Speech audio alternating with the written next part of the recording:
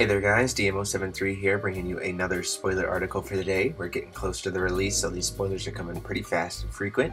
Today we have the new, the final set of wind stuff for Millennia of Ages.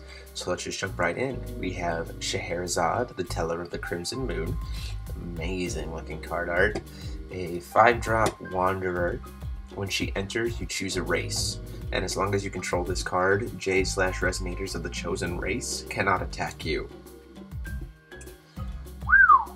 That's, first off, that's really good. Um, like, this just, I don't know, just if you're playing against an archetype deck, just go, none of your demons can attack me, none of your humans can attack me, all of those things. I mean, sure, she can be hit herself, and she has a pretty high cost, but 1,000, 1,200 defense,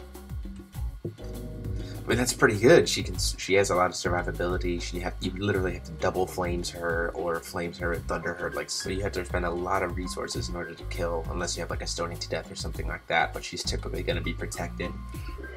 So she's not something that just outright dies. And then uh, activate pay two green and tap her to remove target resonator from the game. So she just she just becomes a two cost tap something, or two cost tap to remove. So she's a continuous spot removal source as well. So if your opponent has that like one thing that is a different race than what you picked, you can just tap it uh, and remove something. This is going to be amazing, I think. Um, I think elves are going to see a lot of support. So actually, oddly enough, this is going to be a card that's going to just be able to shut down elves. Just play her. Your elves go through there you go. You're all set. Like you're uh, you're not going to be able to attack with any of your elves, so it doesn't matter that they're all so huge. I'll just can't attack with them. So it's pretty pretty cool. Um, so I'm excited to see how this all plays out. And then we have the Leaves of Yggdrasil, a one-drop Resonator Treasury item addition. Um, when added Resonator is put into a graveyard from a field, just bring it back. Um, yeah, so that's pretty cool. Essentially means that you have to kill my thing twice. So, uh, yeah, that's that's pretty cool. Um, it's not going to trigger enter effects, but still helps bring back those creatures that you need to make sure they keep around, like a uh, Mephistopheles or something like that, or you know, all kinds of stuff. Your kind of kill condition you can keep on board just by playing a green and just having it, you know, making sure that they have to kill it twice if they're going to want to try to finish it off. Then you have uh, Hansel and Gretel, our new 4-drop. So it's 4-drop Fairy Tale Human. Uh, when this card enters your field, draw a card and put the top card of your Magic Stone deck into your Magic Stone area rested. So this it doesn't. It's not even an enter effect. It's just gonna happen every single time. Um, that as well is just um really awesome. Um, it's only a 400 400 but it is a fairy tale so like in Grimm decks definitely see this being huge because you don't necessarily have to worry about the four will cost because it's just it's Grimm so he can play any kind of color he wants to do it. But this is a really really awesome card. Um, I'm really excited to see it see some play. And I can see some pretty crazy shenanigans with like Hansel and Gretel plus the Leaves of Yggdrasil. To just kind of ramp and draw and ramp and draw constantly. Because it doesn't matter what stone she hit, they hit, it's gonna hit it, it's gonna come into play every single time. So that's pretty cool. Then we have Raefarth, the Wind Castle. So before we knew it as Raefarth, the Castle in the Sky. It's a field addition castle that prevents all damage that would be dealt by normal spells to resonators you control.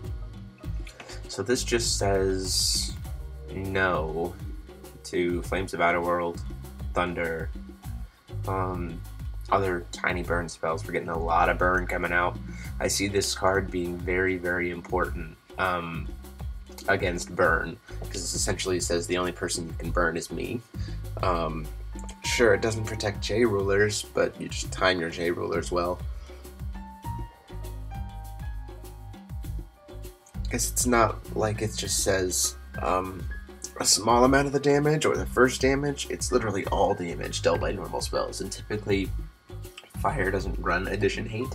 So with burn, you just side in like three three of these, to make sure you get out there early, and then suddenly you just lock down your opponent's burn play.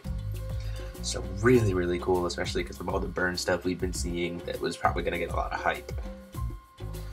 And the last card is Liberate the Wind, two drop spell. Uh, look at the top three cards of your main deck, put one of them into your hand, and remove the rest from the game face down. Um, it's okay. I mean, it's draw three. I think, that, however, that this card is definitely going to be amazing for any Lumia players because this essentially is a two drop draw three for Lumia players. Um, so I definitely see that green could be seeing a lot more use in Lumia now, um, just because of this card. Uh, and some of the other like when this card enters your field as opposed to enter effects so you can start kind of manipulating those effects a little bit better and make use of Lumia a little bit better. So yeah I'm excited to see how this card gets used um, but I definitely think it's going to be a, a, limited amount of decks that it can be feasibly run in. So yeah there you have it guys. That is what we have for today. Uh, some really awesome really really good cards to kind of round out um, the green portion of Millennia of Ages. Um, I definitely know that I'm going to be picking up a lot of Scheherazade's to try and put her into a bunch of different decks. Um, so yeah, let me know what you thought of these spoilers, what you decks you would see these guys can play in. So with your likes, your comments, and, your, and then go ahead and subscribe. And uh, until next time, guys, this is DM073 signing off.